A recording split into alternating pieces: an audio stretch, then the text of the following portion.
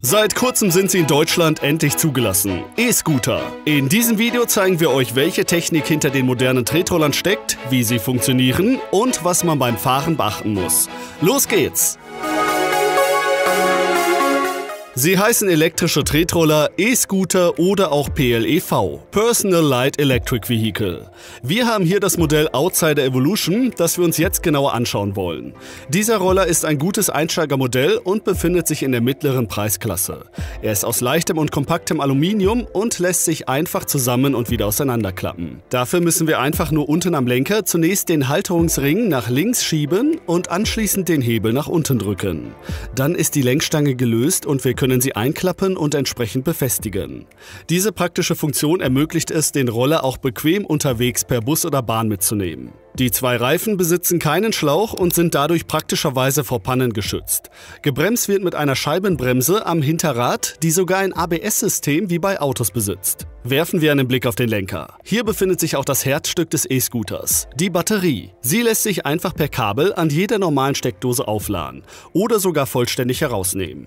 Am Lenker selbst haben wir auf der linken Seite den Bremshebel und auf der rechten Seite den blauen Gashebel. An diesem befindet sich auch der Ein- und Ausschalter sowie eine Funktionstaste. Das Fahren funktioniert ganz einfach. Wir schalten den E-Roller ein, indem wir die On-Taste für zwei Sekunden gedrückt halten.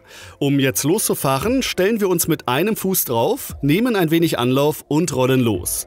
Anschließend drücken wir den Gashebel nach unten und können so beschleunigen. Der Roller beschleunigt recht schnell. Das wirkt am Anfang etwas ungewohnt. Nach ein paar Minuten hat man aber ein gutes Gefühl und fühlt sich deutlich sicherer. Lenken können wir, indem wir den Lenker drehen und dabei ein wenig unser Gewicht verlagern.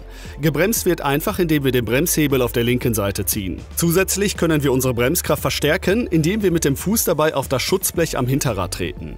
Der Roller bremst dank ABS recht sanft, so dass wir keine Gefahr laufen runterzufallen.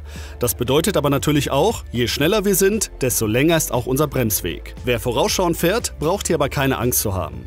Unser Modell der Outside Evolution hat sogar drei verschiedene Fahrmodi, die wir über die Funktionstaste auswählen können.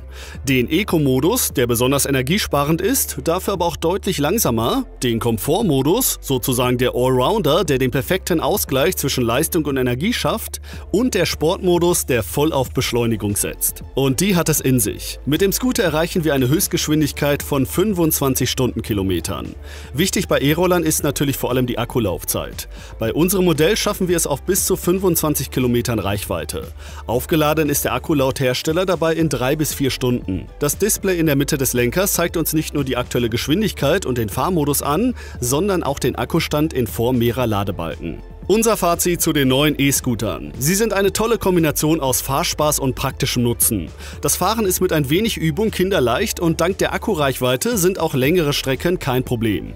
Der Outsider Evolution eignet sich sowohl für Einsteiger als auch für Erfahrene. Einen Link zum Scooter findet ihr unten in der Videobeschreibung. Wir hoffen, dass euch unser E-Scooter-Test gefallen hat und freuen uns über eure Kommentare. Falls ihr Fragen zum Roller habt, helfen wir euch gerne weiter. Denkt außerdem dran, unseren Kanal zu abonnieren und die anderen Videos auszuchecken. Viel Spaß beim E-Scooten und einen königlichen Tag noch, dein Satking.